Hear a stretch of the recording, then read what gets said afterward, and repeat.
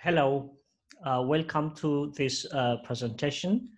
Uh, in this presentation, I will discuss uh, different types of uh, probabilistic and uh, dimensionality reduction techniques to remove motion artifacts from the measurements of a wireless electrocardiogram. there are at least three devices, medical devices, uh, which are uh, highly relevant to measure electrical uh, potentials uh, produced by um, excitable cells in the body. Uh, excitable cells are nerve cells, tissue cells, and muscle cells. The devices I'm talking about are electroencephalography, EEG, electrocardiogram, and electromyogram. EEG measures the uh, uh, electrical activities of the brain. Uh, ECG measures the electrical activities exciting the human heart. And uh, EMG measures the electrical activities produced by the activities of the muscles. For the review process, uh, we will uh, limit our uh, discussion to uh, electrocardiogram. There, there is a long list of applications uh, which can uh, make use of electrocardiogram. With electrocardiogram, we can measure, we can diagnose the health of the heart in associated uh, problems. We can also diagnose epilepsy, uh, Parkinson's disease, uh, and so on. Often, the, uh, when the electrocardiogram measurements are taken, the patient will be at a resting state, either sitting or uh, lying uh, down on a couch or on a bed. This is because the electrodes, which uh, measure the potential difference between two uh, uh, places in the upper body, um, should not be subject to movement. Otherwise, when the electrodes move, then the underlying electrolytic uh, structure will be disturbed, and this produces its own electrical potential, which can be mistaken for electric, uh, electrical potential arising from the activities of the heart. And uh, this might lead to uh, a false diagnosis. But on the other hand, using wireless electrocardiograms can be very useful uh, because uh, now the subject can be free, uh, it exists freely, and the heart responds to this uh, exertion. And then it is possible to diagnose the heart in its true uh, condition, in its true underlying uh, nature. But the problem is that with movement, as you can see here, uh, we can observe different types of distortion arising from the motion artifact, both long-term and uh, short-term uh, distortions. The long-term distortion, which you can see in the right picture, can easily be corrected using uh, some electrical or digital uh, filters, such as um, high-pass filters. Uh, because the, the drift is a gradual change in the baseline and this has low frequencies so it is not uh, a problem. What's a problem is the uh, localized uh, change in the uh, waves uh, and the frequency of this localized changes overlaps with the frequency of the electrocardiogram. So by simply applying uh, digital filters, it is not possible to remove them. So there are different types of uh, approach to uh, remove uh, motion uh, artifacts. It has its own uh, advantages and uh, disadvantages, but most importantly, it has its own set of assumption to produce a meaningful outcome. So today we're going to discuss this approach and when they are um, useful and when it is difficult to justify their use. For this analysis, uh, we use uh, motion sensors because, as I told you, motion artifacts are results of uh, human motion, and this motion disturbs the setup of the um, electrodes used to measure potential differences. So the uh, um, uh, argument is that if we use motion sensors, if we attach motion motion sensors near the electrodes, uh, can we measure the motion affecting the electrodes? And if it's possible to uh, measure the, the motions, for example, using uh, three-dimensional accelerometer sensors, uh, tilt sensors, uh, impedance sensors, or gyroscope for that matter, is it possible to correlate this data with the electrocardiogram signal and use this to identify the uh, motion artifact and uh, remove them. Excuse me. So th uh, this can be answered in affirmative because if the motion sensors are highly sensitive enough, they should be able to pick up the motion disturbing the electrodes, and this uh, signal should be correlated with the underlying motion artifact. So if somehow we can establish this correlation, we can subtract the motion artifacts using this signal from the useful signal. For the analysis of the, this uh, different approach, we uh, consider different types of uh, motions. We measured a large, um, we took a large amount of measurement from 11 uh, healthy subjects working at the university between the age of 25 and 35 these motions, uh, not all of them are listed here, but uh, uh, the most important motions are uh, cycling, climbing up and down a staircase, jumping, uh, doing push-up, skipping, and uh, running. And then using this signal, these different types of movement, we analyze the scope and usefulness of the different types of uh, artifact removing uh, techniques, and I'll give you a brief overview of uh, this. in, um, in a clinical setting, uh, doctors usually uh, segment the um, time series of an electrocardiogram into heartbeats. A heartbeat consists of uh, the following important uh, wave complexes. So we have the P wave, uh, which is related to the uh, activities of the atrium, collecting uh, temporarily blood in the upper chamber of the heart. Then we have the QRS complex, which is related to the ventricular activities when blood is pumped into the brain or into the, into the lung and as well as the rest of the body and we have the T wave corresponding to the uh, uh, uh, repolarization of the, the ventricles or uh, plainly speaking, uh, corresponding to the relaxation of the, the, the, ventricles. And then we have the segment, the, the, the quiet segments between these waves. The quiet segment simply means uh, when there is no uh, cardiac activity. Um, so this uh, refers to the, the segment between the P wave and the QRS wave, the segment between the QRS wave and the T wave, uh, and the segment between the T wave and the P wave. So here you see this, this big area corresponds to the T wave, which comes as a result of the relaxation of the uh, ventricles. Uh, this area corresponds to the P wave, which is related to the uh, activities of the atrium. Uh, and this corresponds to the QRS uh, wave complexes corresponding to the ventricular activities. All of these waves are very important to diagnose the uh, activities.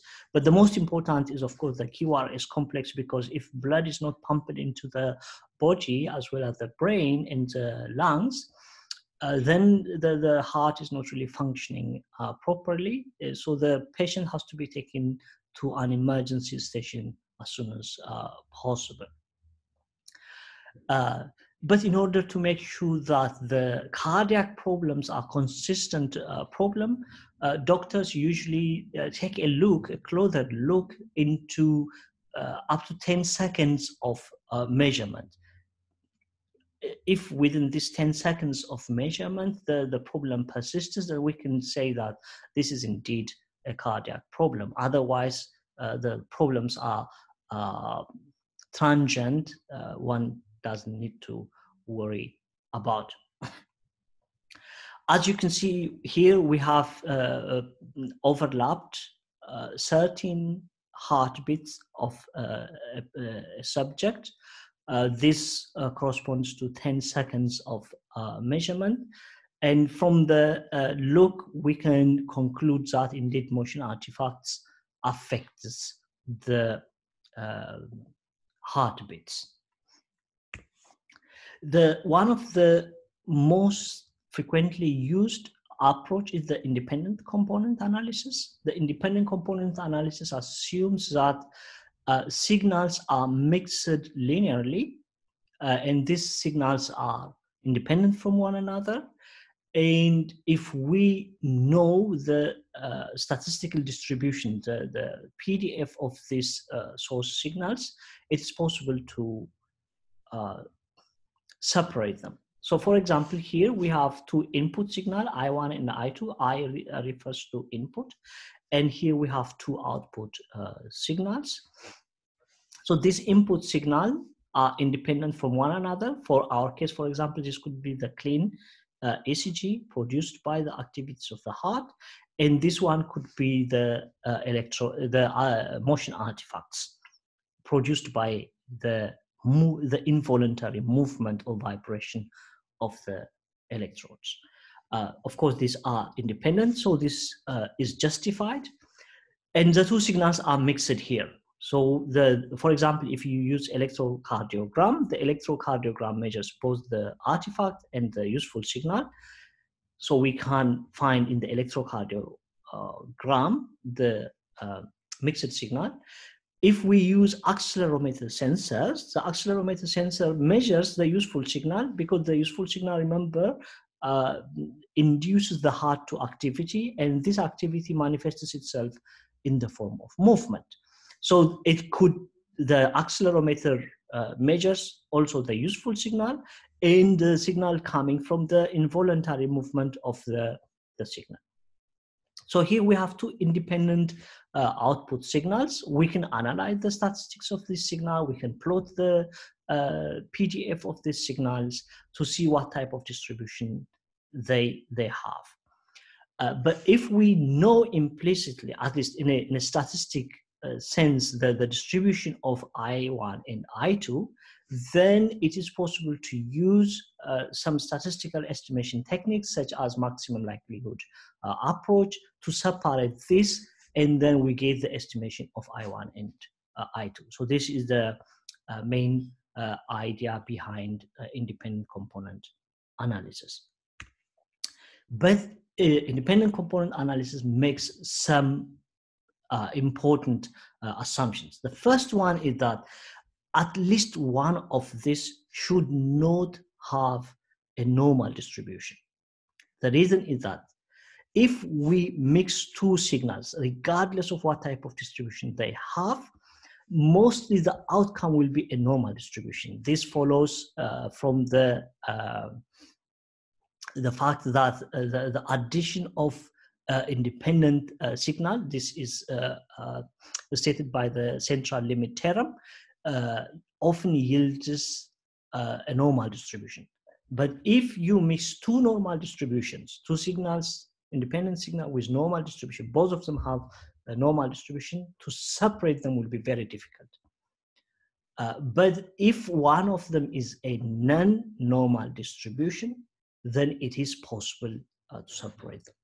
So this is one of the uh, most important assumptions of the independent component analysis. So we considered if we, for example, take all these the 13 uh, signal amounting the uh, 10 second uh, measurement. And if we say that each sample of a heartbeat is co- uh, uh, correlated with the sample of the next heartbeat and the next heartbeat, and if we see how they are statistically distributed, uh, we see that all of them are normal distributed. For example, if we just take the this sample uh, remember that the, the heartbeat is uh, if, uh, an event that repeats itself. This is how the, the heart beats. So that there is a strict sequential behavior in the way the heart beats.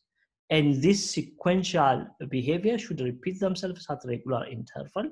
And if we take just one sample corresponding to a particular event and uh, observe it for 10 seconds and see the, the distribution, uh, we see that there is a normal distribution. This is because the heart does not beat uh, with exact, strict, or fixed intervals. There is some randomness in the way the, the heart beats. So the samples are not uh, similar. So if we plot the, the, the, distribution, these are the three different samples uh, they are normal distributed. distributed. If, on the other hand, we take also the, the, the, the, the distribution of the corresponding uh, motion signals, uh, you know, if we take this uh, electrocardiogram, we synchronously measure also the movement uh, sensor, uh, the movement signal coming from the accelerometer sensor. And then if we plot, this is also the, the output of the motion sensors. So both of them indicate that the outputs O1 and O2 here have normal distributions. This is okay because the central limit theorem says that if you mix independent signals, no matter what type of distribution they have, they should have normally normal distribution. And uh, this is justified. The problem is that if we take now in the absence of any motion sensor, if we take the same samples of different heartbeats under ideal condition, this is what we get. That means they are the, the output, at least one of the output here, the, the electrocardiogram taken under idealized condition, it also has normal distribution. And this motion sensor, we don't know because the motion data changes when the motion changes. So we don't have any reference signal. So in the absence of this reference signal, it is impossible to justify that I2 is non-Gaussian. So this is the difficulty or the limitation of independent component analysis. It's not possible to justify that one of the two signals, either I1 or I2, should have a non-Gaussian or a non-normal distribution. This cannot be uh, justified and uh, uh, despite the difficulty to justify, uh, most existing approach use independent uh, component analysis by assuming some type of distribution, for example, uniform distribution. Most approach in EEG analysis, in ECG analysis, and in electromyogram analysis propose the use of independent component analysis, but we don't, we ca cannot justify this uh, by simply looking some experimental data, they, they don't confirm this assumption. Another important approach is the adaptive filter. In an adaptive filter, the idea is this you see is the corrupted uh, electrocardiogram signal. Uh, motion artifacts are included uh, in it. Uh, he, this one is the signal we took using uh, motion sensors. And our assumption is that the noise included in this signal is correlated with the uh, measurements of the uh, accelerometer sensor or uh, any motion sensor for that matter, Gyro gyroscope included. So adaptive filter says if in the noise should also be correlated with each other because the human body does not change instantly. It takes some some some time. And as a result of this slowness in change, uh, there has to be some correlation or autocorrelation uh, of the, the signal. So if we take samples, some past samples, n samples from the motion sensor, we can use adaptive filter to estimate the noise affecting the signal at this point. So the idea is the following. Here we have the useful measurement, the measurand. Here noise enters into the measurement uh, by way of motion artifacts. So what we record at the um, electrocardiogram is uh, a corrupted signal or a, a, modified signal. If somehow we approximate this noise using uh, motion sensor, then we can subtract n from r to get this m. So this is the main idea of adaptive filter. For that, we have to feed back the estimated M into a uh, an estimation or into the adaptive filter. The adaptive filter has two main components. The first one is a, a, simple uh, FIR filter, a finite impulse response uh, filter. And because this finite impulse response uh, filter takes n samples to estimate the, the, the noise, but not all of them have equal relevance. That means we have to attach a weight to each of them according to their relationship with the, with the noise. So here a weight is uh, calculated based on the observation and uh, the correlation between the observation and the signal. And this weight will be fed into the adaptive filter. The adaptive filter estimates the noise and the noise will be re reduced from the signal. This is how uh, it works. And it uses a minimum mean square estimation to estimate the, the, the different alphas or the, the weight. So here, for example, we assume using n samples, this u uh, corresponds to the inertial sensor or inertial samples, and they have different uh, weights. And the, the difference between the estimated signal and the, the, the noise, we estimate it as error and the, the goal is to minimize the square of this error in a minimum uh, mean square sense. So here we have to minimize this error. We minimize this by um, calculating the optimum samples uh, or the, the, the, optimum weight. And that means we have to differentiate this uh, minimum uh, mean square error with respect to the uh, each alphas and set to this set it to zero and the value we get for the alphas will be defined so that we can express it like this.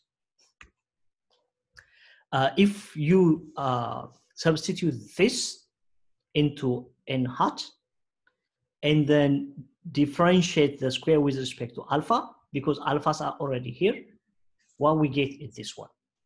So here we have for one of the alphas, for example, for alpha 1, this is what we get. That means the, the sensor signal from channel J here has to uh, be directly correlated or there has to be some cross correlation between them. And the signal should also have some correlation uh, with each other. This signals here you see this, this, these figures we have because we have already taken data if we take for example three-dimensional accelerometer sensor we have data from the, uh, the x-axis the y-axis and the z-axis we have the electrocardiogram so these are the, the, the signals and the the correlation between the different sensors can be uh, measured. But we don't have this signal. So that means because the motion the motion artifacts embedded in the electrocardiogram they cannot really be directly tested or directly be captured. So we in the absence of these signals it's impossible to uh, evaluate the the to evaluate the existence of cross correlation between the motion artifact and the, the motion sensor but approximation can be made in the literature, what we do is we evaluate the, the, the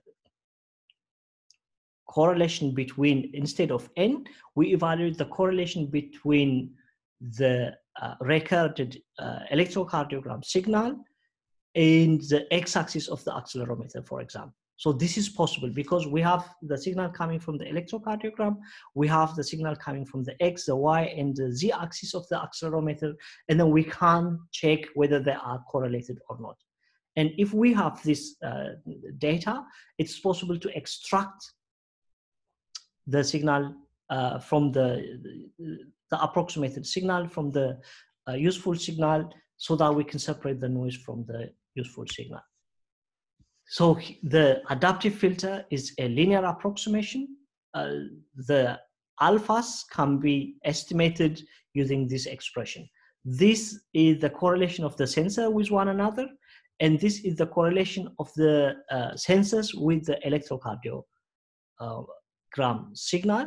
As a result, we can get the alpha one. If we get the alpha one, we can express now the uh, the, the noise uh, like this and then we can remove it from the uh, electrocardiogram. So if you see, this is the, the, the red one is the uh, ECG signal we, we measured, and this one is the noise signal now we approximated. So it, we can now subtract the uh, blue from the red to get the useful signal. Uh, adaptive filter is again highly uh, widely used and produces some uh, reproducible uh, results. But again, our approach is indirect instead of uh, direct. Another approximation is the singular value decomposition. In singular value decomposition, we express the measurement as a matrix. That means these are the samples, for example, from uh, ECG signal. Uh, this can be the samples from uh, accelerometer sensors. Uh, in as much as we have uh, different channels of uh, motion sensors, we can establish uh, different types of uh, raw matrix. In a singular value decomposition, any matrix of any size, any dimension can be decomposed into three basic, basic uh, uh, matrices. The idea being we can take advantage of the correlation between the samples, the correlation along the um, columns as well as uh, the, the, rows.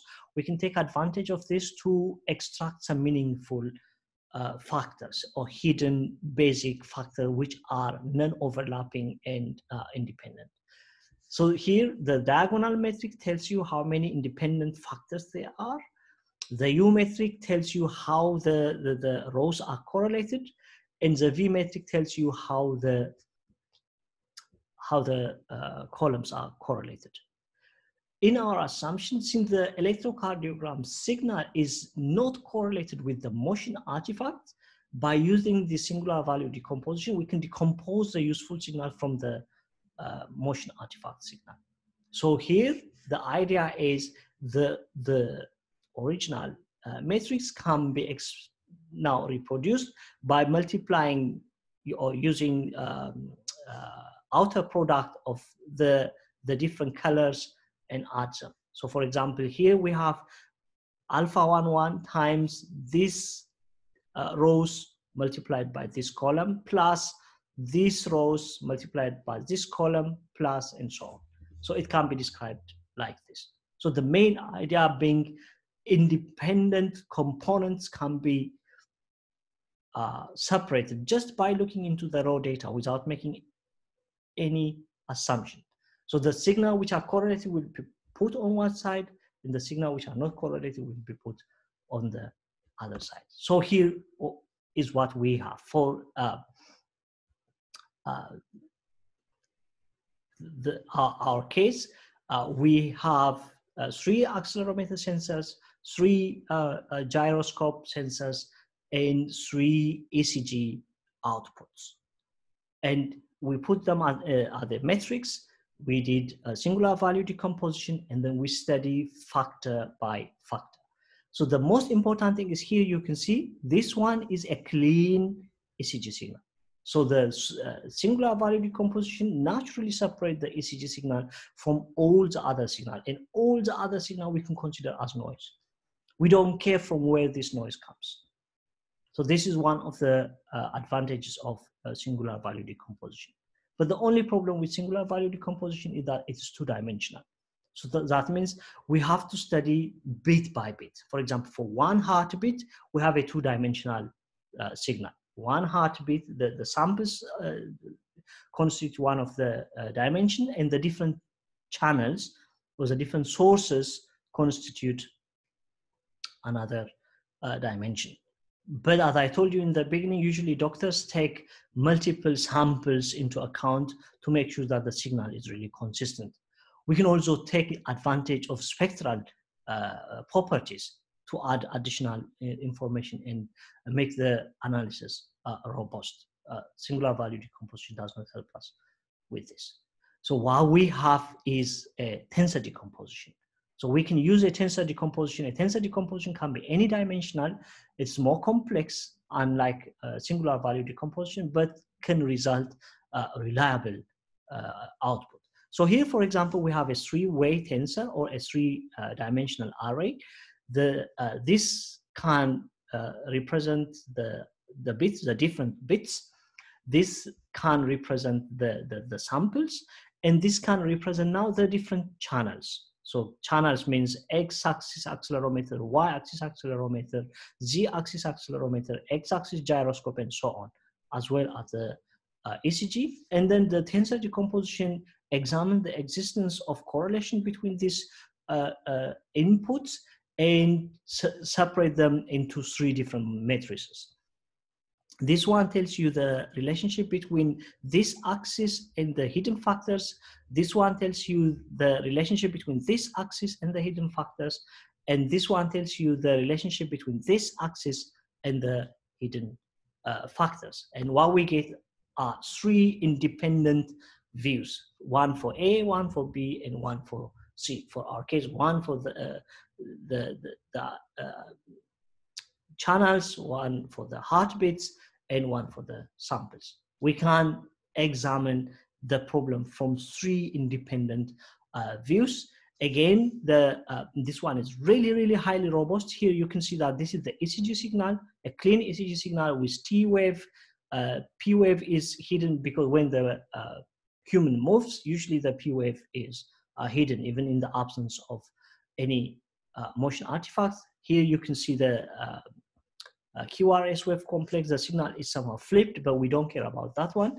And here tells you which of the, the uh, channels produce this type of consistent output. For our case, these three are uh, taken from the three ECG leads. And this can also tells you exactly where the uh, clean heartbeats can be uh, detected. So tensor decomposition gives you uh, nine degrees of freedom and uh, three independent uh, views so that you can analyze the problem without making any assumption, without uh, uh making any uh, um, underlying uh, precondition about the nature of the motion artifacts themselves. So in conclusion, we considered different types of techniques to remove motion artifacts, independent component analysis, uh, adaptive filters, uh, singular value decomposition, and tensor uh, decomposition.